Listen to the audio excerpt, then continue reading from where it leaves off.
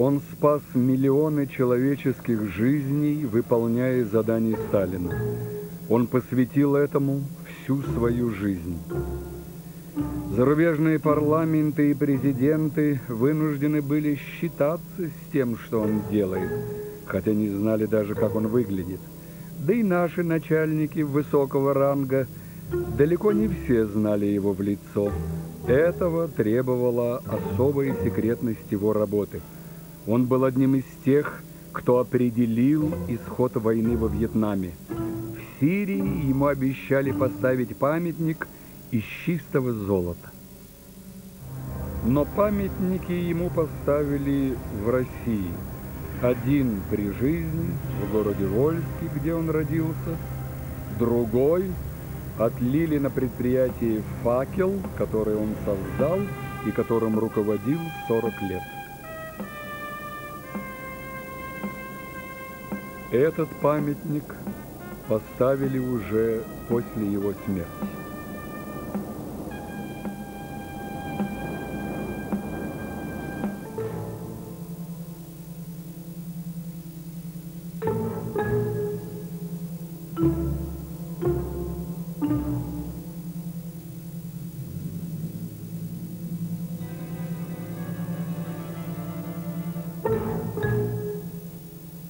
Петру Дмитриевичу Грушину было 87 лет.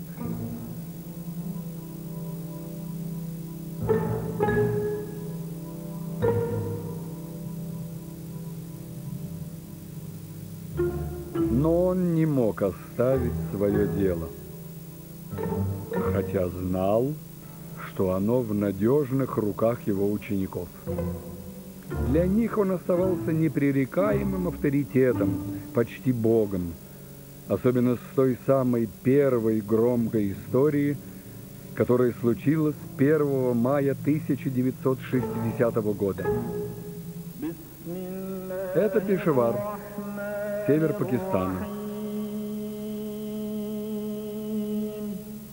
وما كان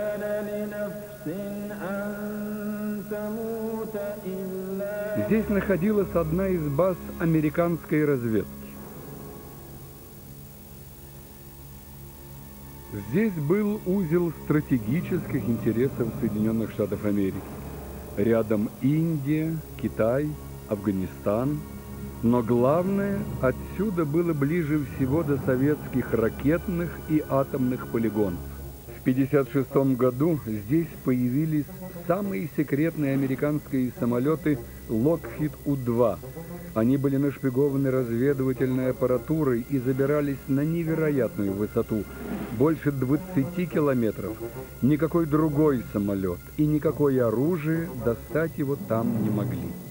Курировал эту программу лично Ричард Биссел, заместитель директора ЦРУ. В ночь на 1 мая 1960 года в Пешеваре отправляли в полет очередной У-2. В 26-й разведывательный полет над нашей страной. День выбрали идеальный для съемок и с учетом загадочной русской души. В Советском Союзе праздновали Первомай. Русским, конечно, не до шпионов. В 5 часов утра один из лучших пилотов ЦРУ, Фрэнсис Гарри Пауэрс, вошел в воздушное пространство СССР.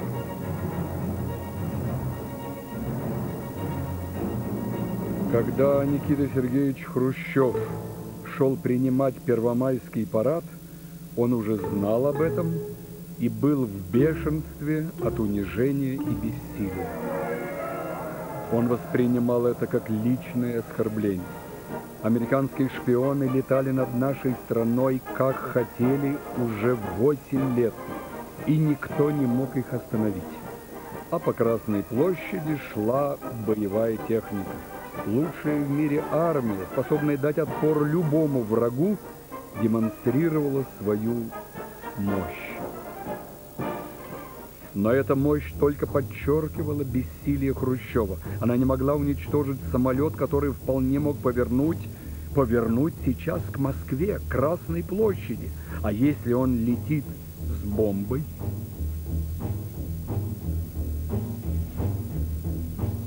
Пауэрс летел над Казахстаном. Это космодром Байконур. Через год отсюда взлетит старший лейтенант Гагарин, а сейчас летит капитан Пауэрс. Теперь внизу оборонные заводы Урала, а дальше на север через всю страну, к ракетным стартам Плесецка, Мурманску, базам Северного флота, а там Норвегия и посадка. В Свердловске тоже праздновали Первомай.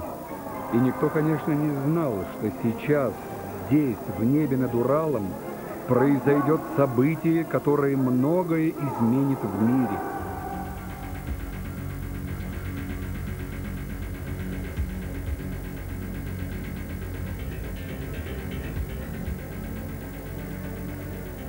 Расчет зенитного ракетного комплекса «Двина», совсем недавно принятого на вооружение советской армии, действовал слаженно и четко.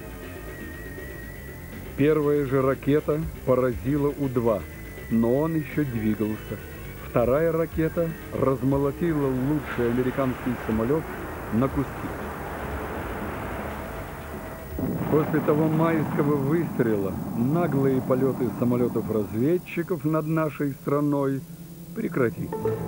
Хрущев был в восторге – когда ему доложили, что самолет уничтожен, а пилот взят в плен. Он восхищался работой Грушина.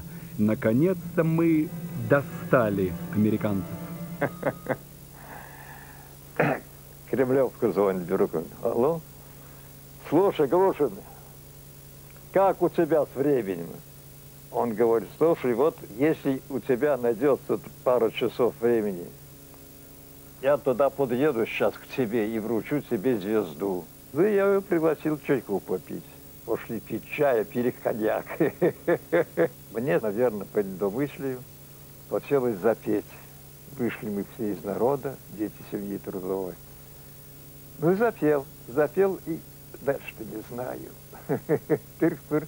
Тогда Никита хватил и допел из меня эту песню.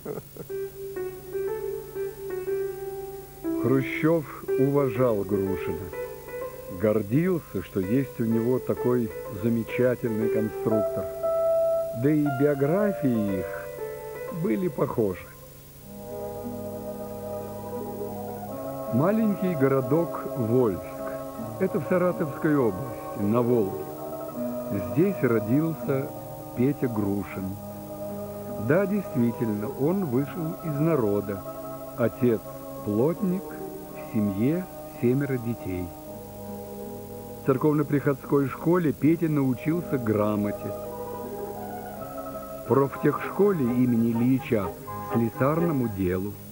Все мальчишки 20-х годов мечтали об авиации, и Петр Грушин тоже мечтал. Работал слесарем, а вечерами мастерил модели. Он уже знал, самолеты – это дело его жизни. Путь от мечты до профессии был нелегок и не скор. Учился в Ленинграде, в Москве. В 1932-м получил диплом Московского авиационного института. А это один из первых самолетов Грушина, авиетка «Небесная блоха». Сейчас авиетку испытают в полете. Размах крыльев небесной блохи всего 6 метров. Вес 150 кило. 24-сильный мотор авиетки позволяет ей развивать скорость до 140 километров в час. Сейчас вы увидите и самого Грушина. Вот он в центре кадра. Он любуется своим самолетом и, конечно, не думает сейчас, что впереди война.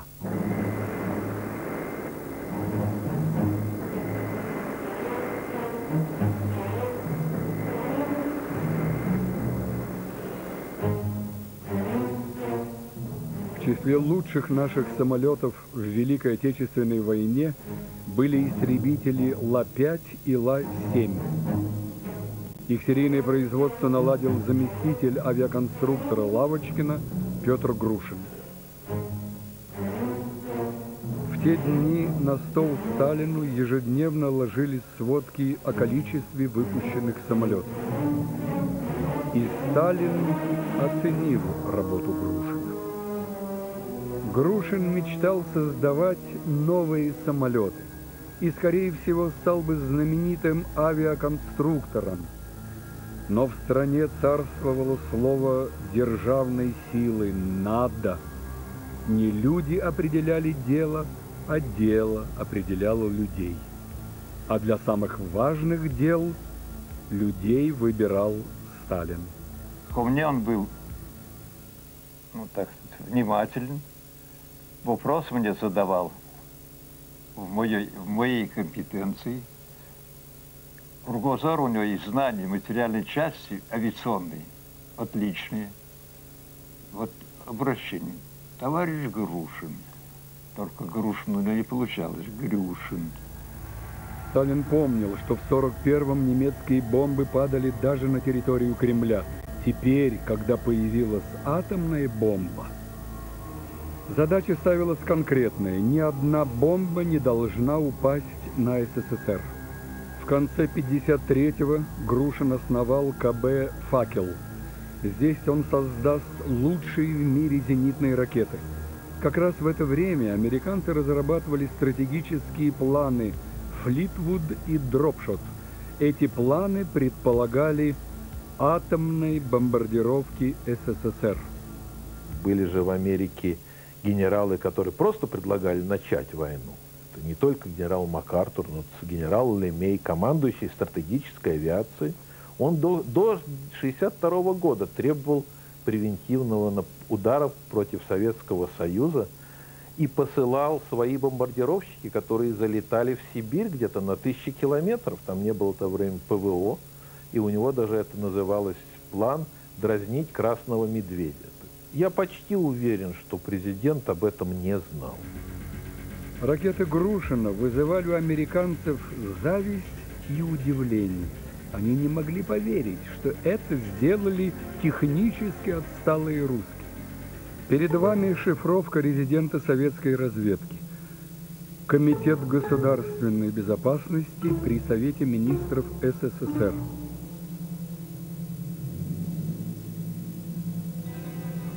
Подлежит возврату. Совершенно секретно. Хрущеву, Козлову, Громыко – Малиновскому, восьмой отдел, из Вашингтона. Получено в 10 часов 20 минут 6 ноября 1962 года. Американские военные специалисты проявляют большой интерес к советским зенитным ракетам. В Пентагоне в срочном порядке разрабатывают план похищения советской зенитной ракеты с Кубы и доставки ее в США. Локхит У-2, летая над Кубой, сфотографировал позиции советских зенитных ракет «Двина».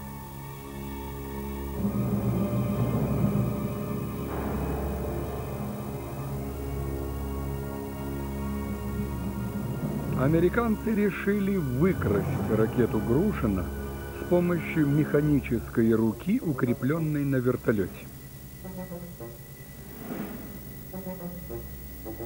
На тренировках вертолет с лету хватал ракету и улетал.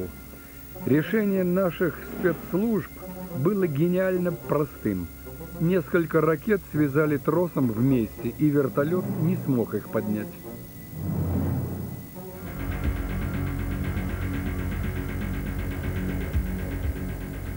В октябре 1962 года над Кубой ракетой Грушина был сбит очередной У-2. Конструктором У-2 был гениальный Кларенс Джонсон. После У-2 он создал вот это чудо – самолет-разведчик СР-71. Послать его к нам американцы так и не рискнули.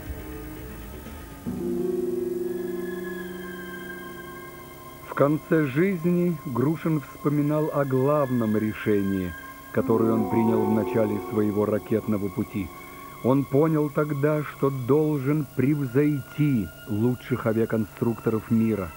Скорость, высота, маневренность самолетов будут расти, и агрессор будет использовать эти достижения максимально. И потому он должен не догонять, а быть впереди. Все время быть впереди. Только тогда ни одна бомба не упадет на СССР. Он выполнил эту задачу. Но бомбы падали в других местах. В 1964-м началась американская агрессия во Вьетнаме. Жестокая, грязная, как все такие войны на чужой земле, якобы для защиты демократии и жизненно важных интересов. Как у нас в 41-м, где-нибудь под Смоленском. Особенно удобно, а главное безопасно было убивать вьетнамцев из самолетов. Попутно можно было экспериментировать с новейшим вооружением, проверить его эффективность для будущей глобальной войны. Армады бомбардировщиков утюжили беззащитную землю. Тогда мы не бросали в беде своих союзников. Тайными путями во Вьетнам стали переправляться ракеты Грушина. В джунглях вьетнамцы несли ракеты буквально на руках. И настал час возмездия. В первом же бою одна ракета уничтожила сразу три фантома. Прогулки в небе Вьетнама для американцев кончились. Они стали посылать с каждым бомбардировщиком до 10 самолетов прикрытия, создавать радиопомехи, летать на бреющем, но их все равно били. В декабре 72 американцы бросили в бой сразу 700 самолетов. 140 из них не вернулись на базу. Всего во Вьетнаме американцы потеряли 8612 самолетов и вертолетов.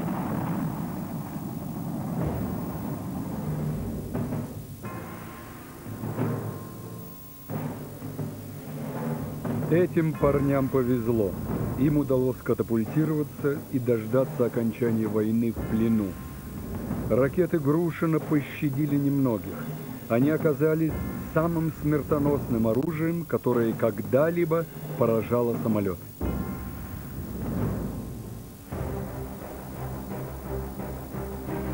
Опыт Вьетнамской войны Грушин использовал для создания своих новых еще более совершенных ракет.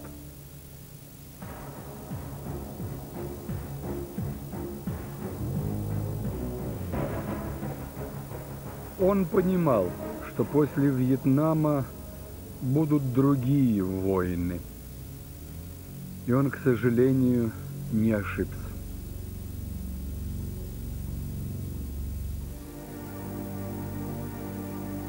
Война во Вьетнаме еще продолжалась, а самолеты израильских ВВС бомбили Дамаск и Каир.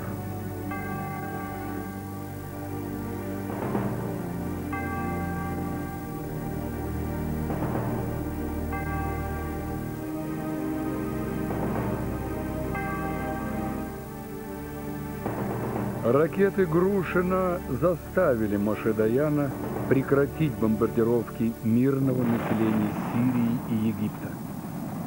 За два дня боев было уничтожено 40 израильских самолетов.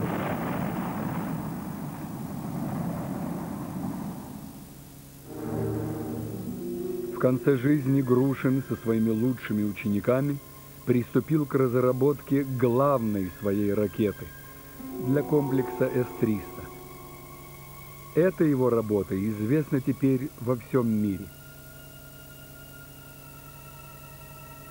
Вот летит ракета вот на цель. Вот она такая. И если мы хотим это через рули, вот отклонили рули, значит, вот не только график. Вот, пожалуйста значит, вы отклоняете рули, и вот идете на эту перегрузку. Это очень долго получается. Значит, надо где-то получить газ с давлением, подвести его, передвинуть, руль отодвинуться, и прикладывается эта боковая сила. И она не, не так идет, а За свою жизнь Петр Дмитриевич Грушин создал 14 типов зенитных ракет. Они защищали небо 50 стран мира. Они поражают цели на больших и малых высотах, летящие со скоростью до 10 тысяч километров в час. Впервые в мире ракетой Грушина была сбита баллистическая ракета, считавшаяся до этого неуязвимой. Американцы смогли повторить это только через 23 года летательных аппаратов, способных уйти от ракет Грушина, пока не существует.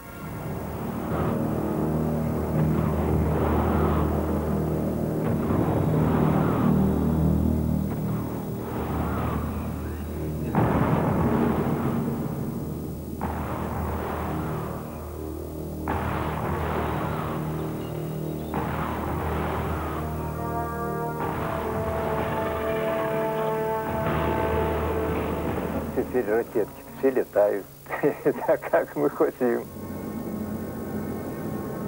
Нет, не летают теперь ракеты Грушина, как мы хотим. Теперь летают, как хотят самолеты НАТО.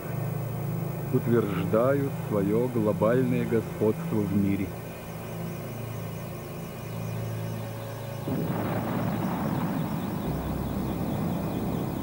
Это Югославия.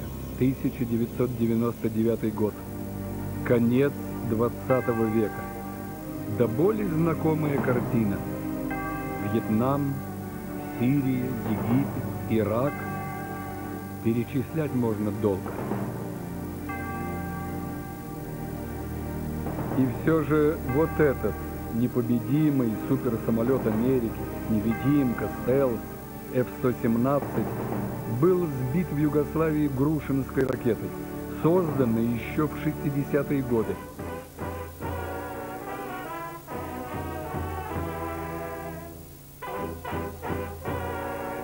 А кроме того, было сбито еще с полсотни других самолетов и 200 крылатых ракет.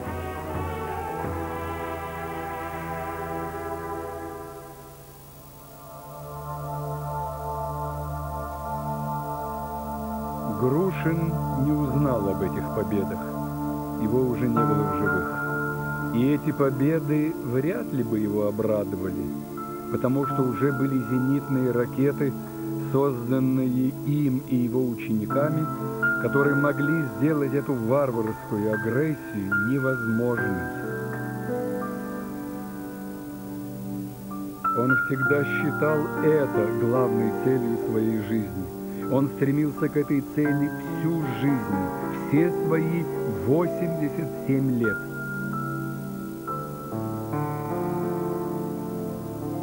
И то ведь семь орденов Ленина, две золотые звезды героя за так не давали.